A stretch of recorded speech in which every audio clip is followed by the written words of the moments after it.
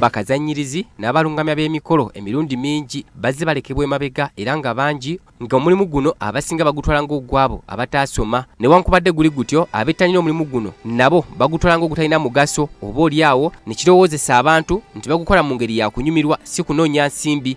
Gamba nga mu nnyambala okukozesa obyolulimi nga bino byonna biva ku lwakubulwawo amateeka agabalungamya oba oliawo ekitongole ekibavunanyizibwako obutereevu nga kino kiwaliriza bakazanyirizi bano okwekolamu omulimu okutegeka olunaku olw'okusiimirangako abo bonna abanywedde mu bannaabwe akendo mu mpeereza y'omulimu gwabwe era ng'ennaku z'omwezi 26 omwezi gwa 10 2024 lwe bagenda okutegeka omukolo guno ogw'okusimba bannaabwe ekituumiddwa national event service providers awards. Covid.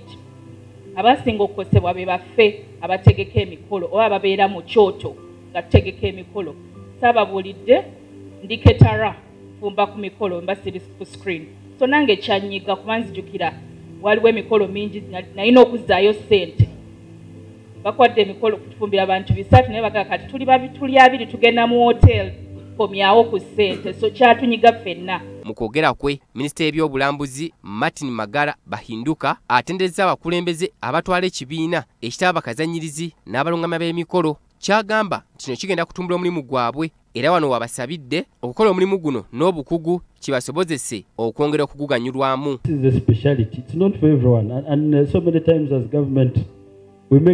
mistakes.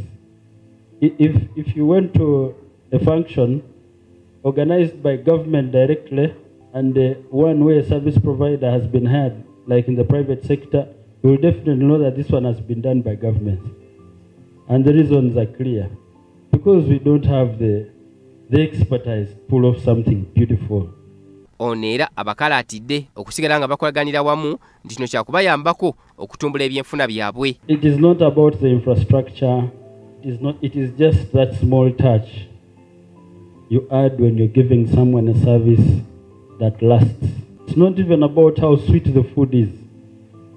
So, so you the service providers when you're given this business like that one who was given that day paid a lot of money by government and uh, and you know i asked some of my colleagues what did you think of the service? And some said it was okay.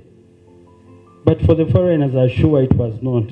So when you're given chance to help us and provide this service, what kind of people do you hire? Okusinza ku bakulembeddemu enteekateeka z'okusima bannaabwe mu balungamya b'emikolo n'abaweereza ab'enjawulo tebasanga okusoomozebwa kungi mu mulimu gwabwe ng'ate emirundi egisinga tebasiimibwa. Bano bagamba nti enkola eno ey'okuvangayo okwesiima yakubayambako nabo okutumbula obukugu mu mpeereza y'omulimu gwabwe. Titus jemba bbs telefina